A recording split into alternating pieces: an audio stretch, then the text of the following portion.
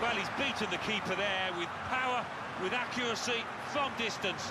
Wonderful. A good look here, again, by the replay of the goal.